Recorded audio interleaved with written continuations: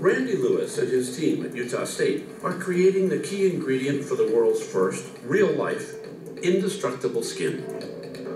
This groundbreaking project had much more humble beginnings. Lewis simply wanted to see what substances could be made using one of the toughest natural materials found on Earth sleek, smooth spider silk. Spider silk is composed almost entirely of protein. It's about three times stronger than Kevlar and about 10 times stronger than steel, and more elastic than nylon. The problem is, spiders are cannibalistic and territorial. They'd kill each other before producing an ounce of silk. So Lewis and his team improvised, transferring the gene that produces the spider silk protein into a goat. The hope is that the milk from the mutant goat would produce the powerful protein. We do is just grow large amounts of that spider silk gene, then we cut the gene, we splice it into the goat DNA, and we splice it together.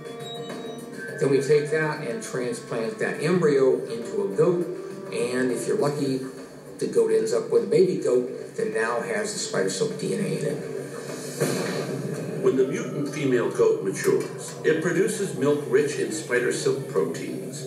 Harvesting the silk becomes as simple as purifying the protein and spinning it into fiber tougher than Kevlar. So there was a lot of interest in using it for the military, looking at bulletproof vests for protection in helmets. The material had incredible possibilities.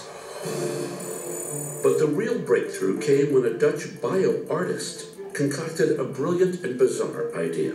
Jalila Essaidi devised a plan using Lewis's spider silk to engineer human skin that could stop a bullet. I have to say that initially I was a little skeptical, but there certainly was a drive on her part to make this work.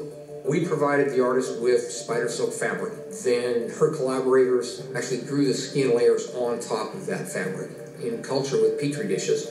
The end fabric was tested by putting it on top of this gel and they shot a bullet through it. Yep, deep. And the bullet actually went into the gel, but didn't penetrate the skin and didn't break the fabric. Basically, it absorbed all the energy of the bullet without breaking the skin.